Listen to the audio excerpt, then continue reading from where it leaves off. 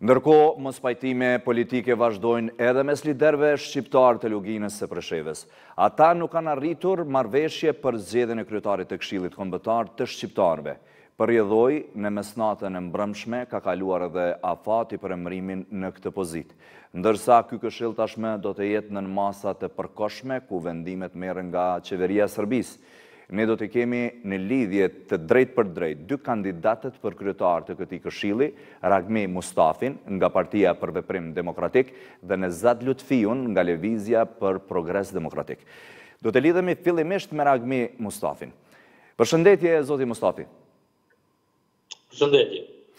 Pse mungoi kompromisi për të drejtuar Këshillin Kombëtar të Shqiptarëve?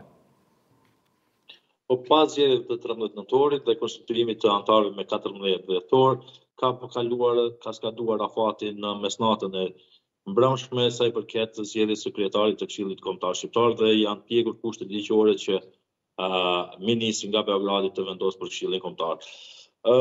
Sigurisht kjo ka qenë një qasje nga partnerët e mundshëm e papërgjegjshme infantile, madje e, e pandërgjegjshme për situatën në të cilën gjindet pozita e shqiptarëve të Luginës së Preshevës e aq më tepër sa i përket proceseve politike që vijnë e që kanë të bëjnë me dialogun Kosovë-Serbi.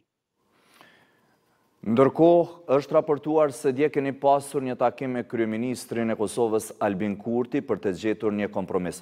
Cilat ishin mospajtimet me kandidatin tjetër të cilat ndikuan në mosarritjen e kompromisit?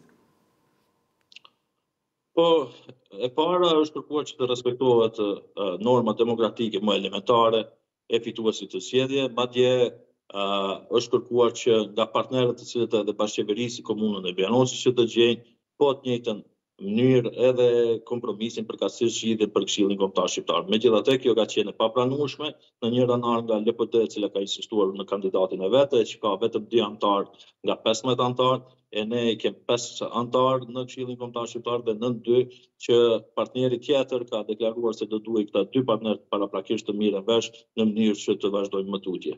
Unë besoj që mes këshillave të kryeministrit dhe mes vullnetit politik, përkatësisht vullnetit të votës së shqiptarëve në Luginë të Preshevës, dy partnerët kanë zgjedhur ta lënë këshillin në mëshirën e ministrit në Beograd, përkatësisht qeverisë së Serbisë.